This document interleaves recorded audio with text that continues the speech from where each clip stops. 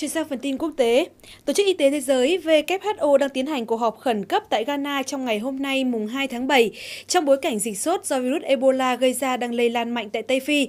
Theo số liệu mới nhất, tính đến nay đã có hơn 460 người chết vì dịch bệnh này. Các quan chức y tế của 11 nước trong khu vực đang tiến hành thảo luận về các biện pháp nhằm chấm dứt cuộc khủng hoảng này.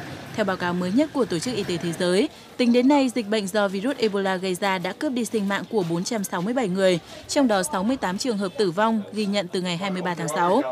Mặc dù số ca tử vong chủ yếu ở Guinea, song hiện dịch bệnh đang tăng nhanh tại Liberia và Sierra Leone. Ngoài ra, số trường hợp nhiễm virus cũng tăng mạnh lên 759.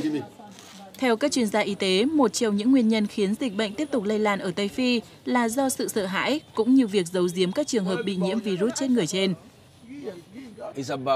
Nếu người dân không thực sự cảnh giác trước dịch Ebola, thì nguy cơ lây lan là rất lớn, đặc biệt là đối với những người đã từng chăm sóc người bệnh.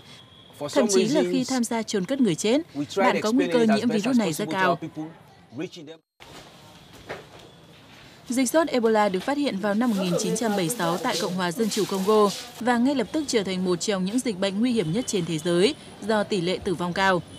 Đặc trưng của hội chứng do virus Ebola gây ra là sốt xuất huyết với các triệu chứng đi kèm như đau đớn, khó chịu, sau đó là nôn mửa, tiêu chảy và nôn, khạc ra máu.